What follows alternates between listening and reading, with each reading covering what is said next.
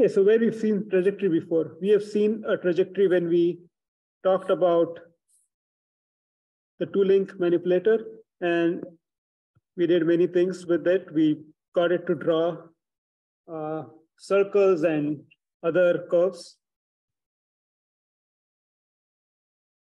Right, so this is what we did, but there was a big caveat, which is this was a static problem. What I mean by static problem is at every instant of time, you were trying to compute where exactly the manipulator needs to be, compute the angles, and then put it there, right? So we were just doing plot, plot, plot by putting the manipulator angles and then seeing that it traces the trajectory. But that's not how uh, real life situations are where you are supposed to move that end effector, or in this case, the joints, in a smooth fashion so that there are no jerks. So that problem here did not consider the dynamics. And for, for most part, we are interested in dynamics because we want to make the motions fast. So for something which goes very slow, that is an okay approximation. But if you wanted to draw the figure uh, circle or any further figure, lemniscate, we need to consider time. And so this part is just about generating the right trajectory, a time-based trajectory, so that then it can be used in a manipulator and other settings to generate a smooth profile. So we'll look at um,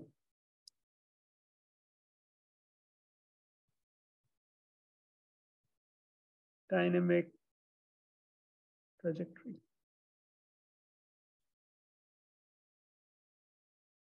So what I mean by is we will be given curves which are function of time. Okay, so here we, we were we basically wrote down the equation as x equals r cosine theta, right? And y equals r sine theta, where theta was, say, this angle.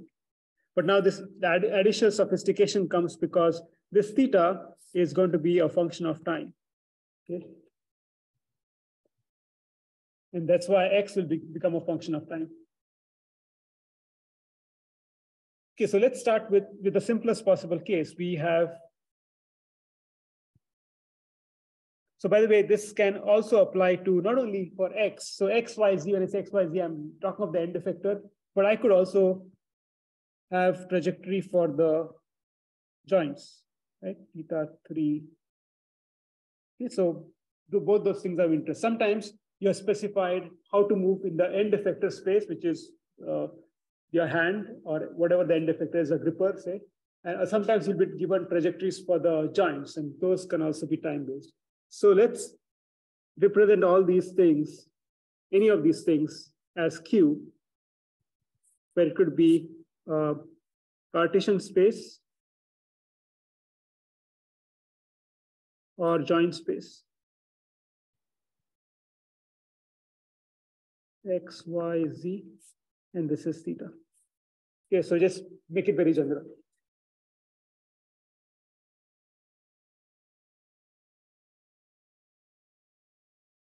Okay, so what we're interested here is we're given a starting point, we're given an end point,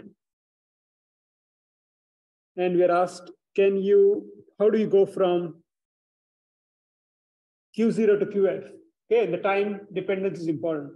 And you can say, well, the first simplest thing is, well, let's, we could go this way, or we could go uh,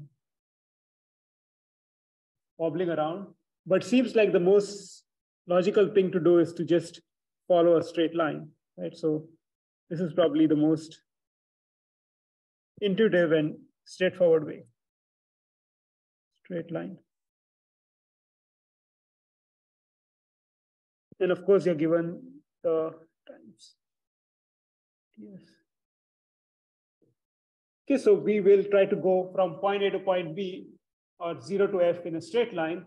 Uh, and we know what this Q0 means, you know the state at time t0. So state could be X, Y, Z, or theta. Uh, just depends on which type of representation you want. And so let's go with a straight line.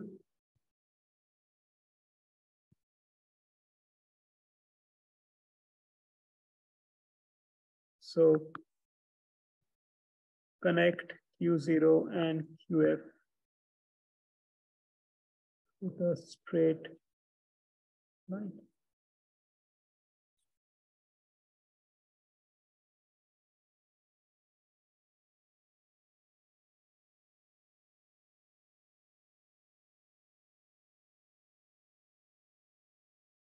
Okay, that's what we are aiming for.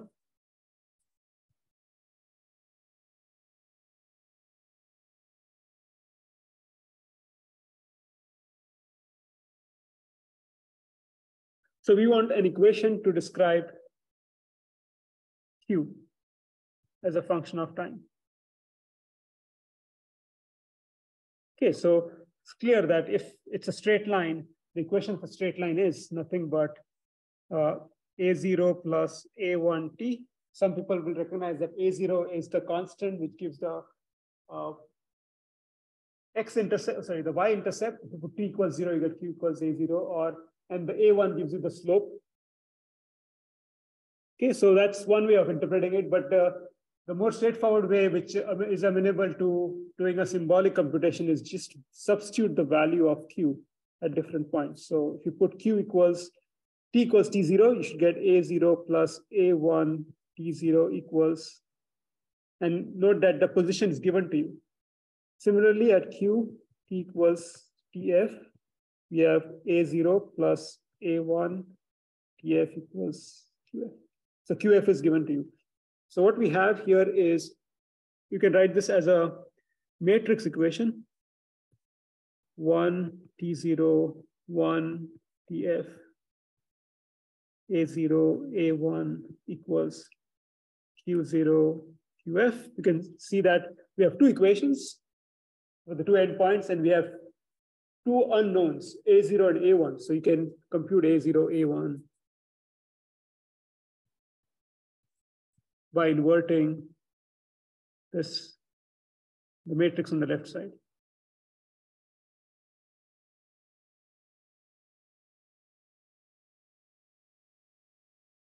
Okay, so that's easy to solve because it's just a two by two matrix. It will give you uh, A0, A1 would be, and I, by the way, I did not do it by hand. I just used uh, Sim, SymPy to do it. And I'll show you code which does that. Q0 TF minus Q F Q0 minus QF minus Q0. And then Q of T is, so there's a constant part, which is Q0 TF minus QF T0 divided by TF minus T0 plus uh, the constant, uh, the slope part, which is QF minus Q0 TF minus T0 times T. So you can recognize that this part is A0. This part is A1. And just out of curiosity, I'm going to take the derivative of whatever that variable q is with respect to time. And you see that the first term cancels out because it's constant. The second term gives you the velocity.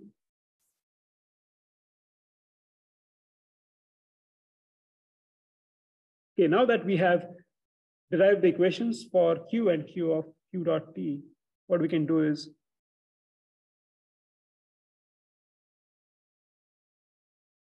we can plot q as a function of time, and then it's no surprising that you'll see that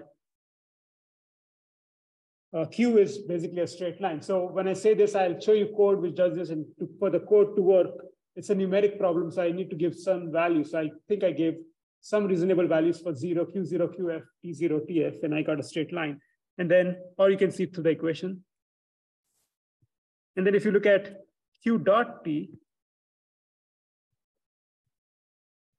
okay, what's Q dot? It's just constant. So it's going to be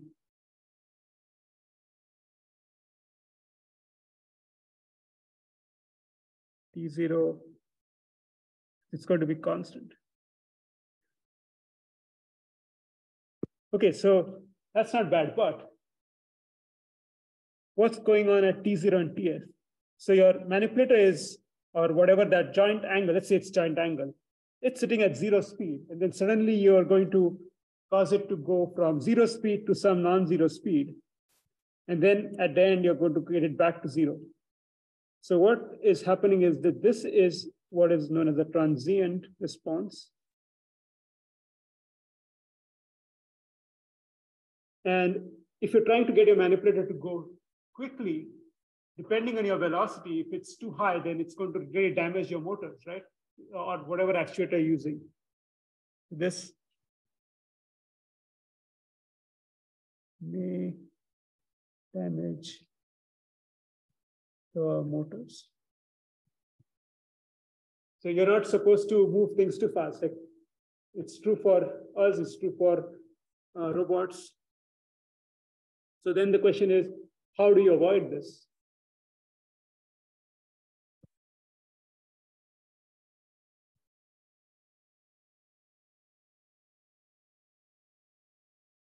Okay, so one solution is we ensure that initial position, final position is, is what we are given.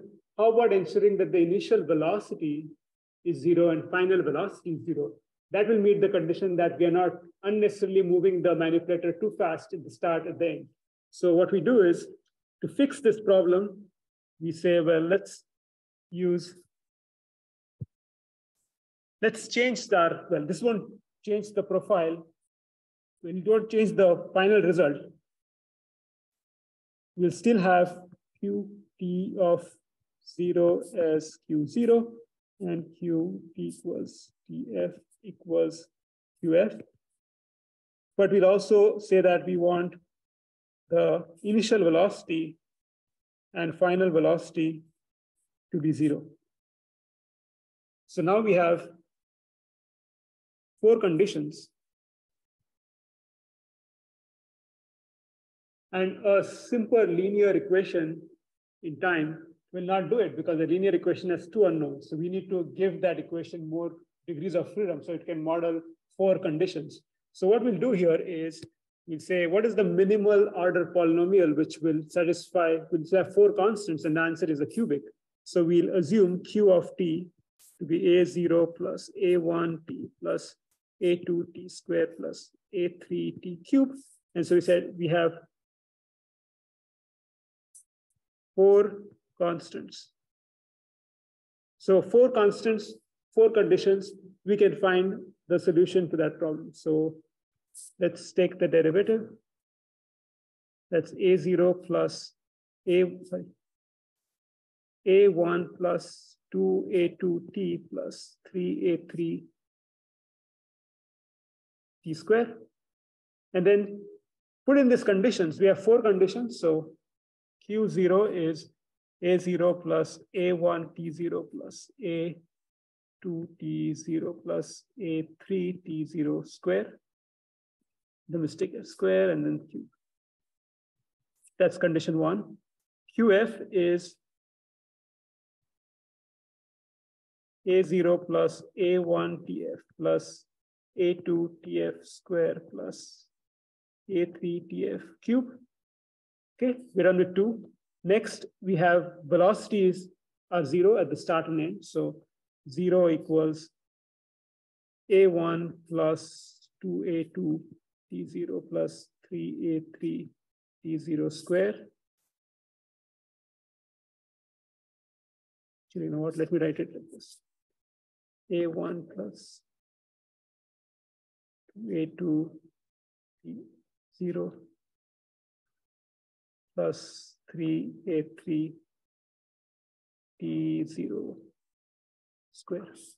And then 0 equals a1 plus 2a2 tf plus 3a3 tf square. So then we can rewrite this equation as a0, a1, a2, a3 q0, qf, zero, zero. That's the right hand side, left hand side here, but I put it on the right side. And then we have to fill in this. So you go line by line. First line, we have the coefficient of A0 is one, coefficient of A1 is T0, and so on.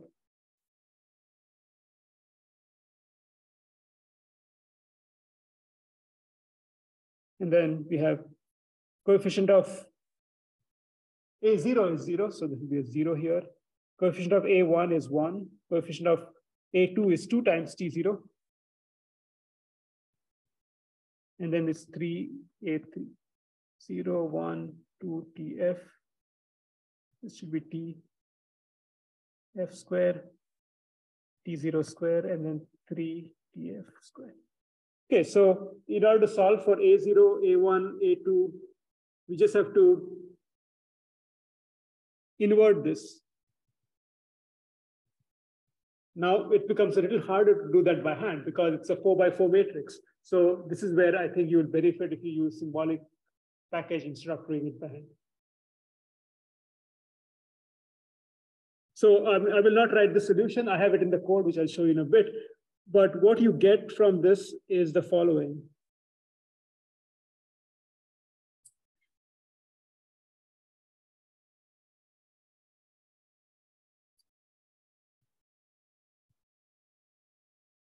So these are my endpoints, the same two points.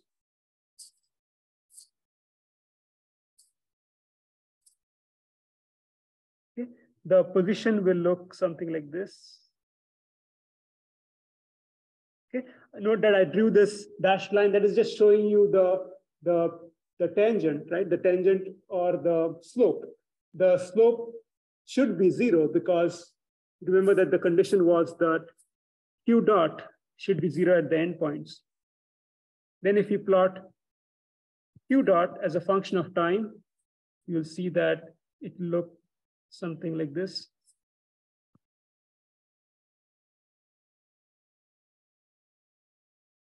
So this is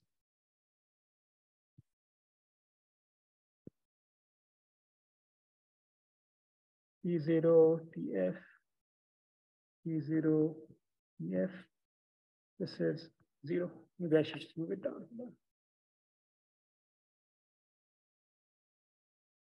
This is better.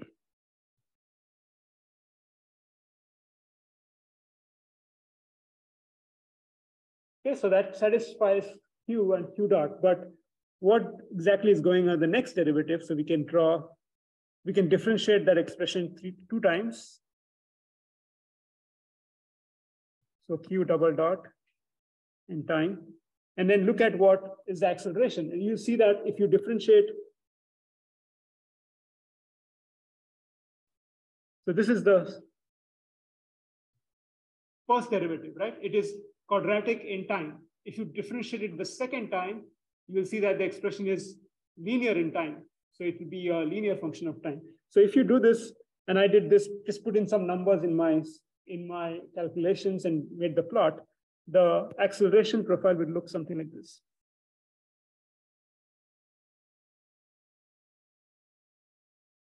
So it'll be positive and then go negative.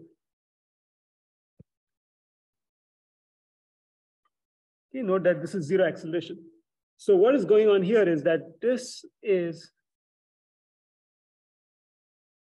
the transient response. That the acceleration is not smooth. There is a discontinuity. At, at time t at time t0, the acceleration will suddenly go from zero all the way to this positive value. And then when it, towards the end, it's going to go from negative value to zero. And this can obviously damage your motors.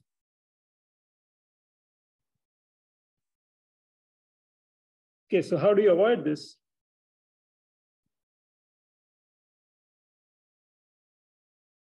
So what you do is you specify Q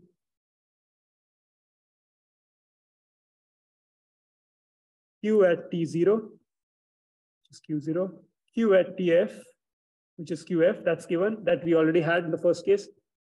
We specify the velocity is zero, final velocity is zero.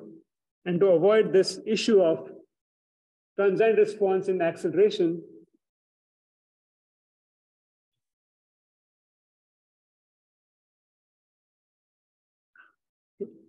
Okay, so now we have not four, but six conditions. And the simplest polynomial which satisfies all, well, which, which gives us enough degrees of freedom to represent it would be, uh, so six conditions.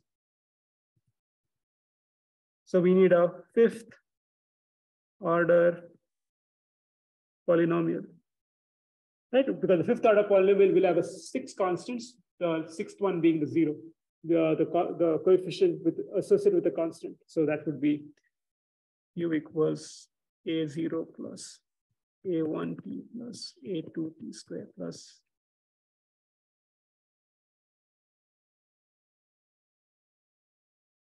Okay, now th there's going to be a problem. So I'm not going to go through the exercise of doing that, but can you see the problem? If you take the,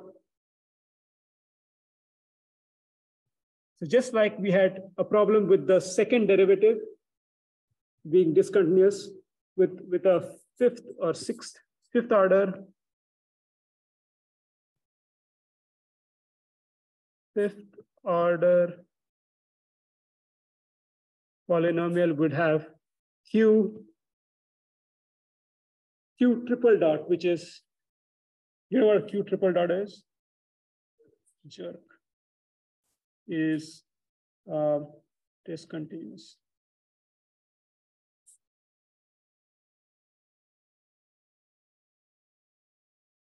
Okay, so that's no good, right? Because jerk is right. The, sec, the third derivative is discontinuous. So you can then increase it to seventh order polynomial. But then you'll find that the fourth derivative is uh, is not equal to zero. So then you can just keep doing that. The fifth derivative, and then sixth derivative.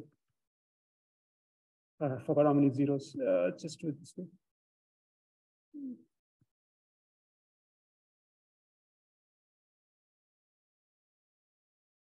dq, d cube, d4.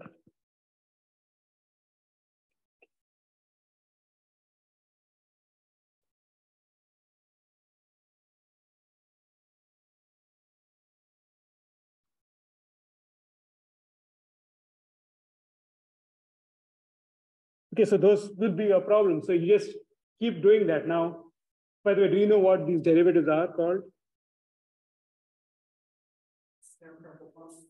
Snap. Crackle. Okay, this is not made up. It's they really snap, crackle, and pop.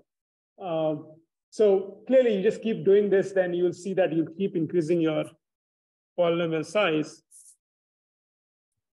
and you just, it's not worth it. So what people do normally is they just limit themselves to, uh, usually I've, the most I've seen is fifth or uh, seventh order. So in quad, quadcopter control, they will usually use a, uh, I think a seventh order polynomial. They'll ensure that the jerk is, is uh, not an issue, but snap, they will not bother. And I think that's because uh, quadcopter is moving very fast. So the higher derivatives do matter. For a manipulator, I think you just are moving reasonably slow. So you are normally looking at perhaps the second derivative, or if you want use the third derivative.